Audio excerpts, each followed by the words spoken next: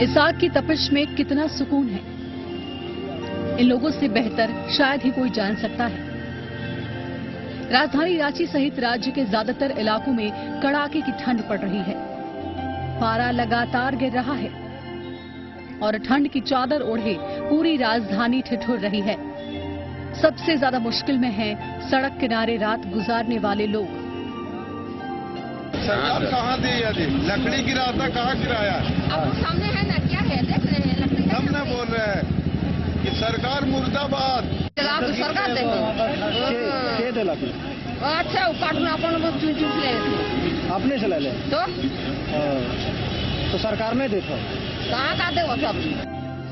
कड़ाके की ठंड के बावजूद जिला प्रशासन की ओर से अब तक ना तो अलाव की व्यवस्था की गई है और न ही रैन बसेरों का कोई इंतज़ाम है।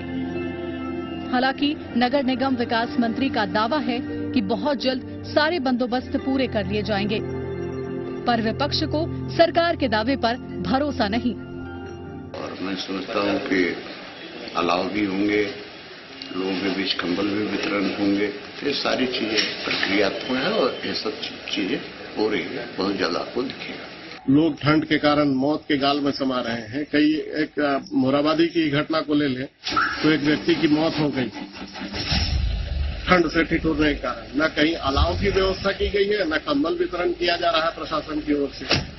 तो पूरी तरह से संवेदनहीन स्थिति में है। दिसंबर का महीना है और अभी से ऐसी हालत है। अंदाज़ा लगाइए कि अगर यही हाल रहा तो जनवरी की हाड़ कपा देने वाली ठंड में आम लोगों का क्या होगा? कामरान जलीली के साथ bureau report, Zee media, Ranchi.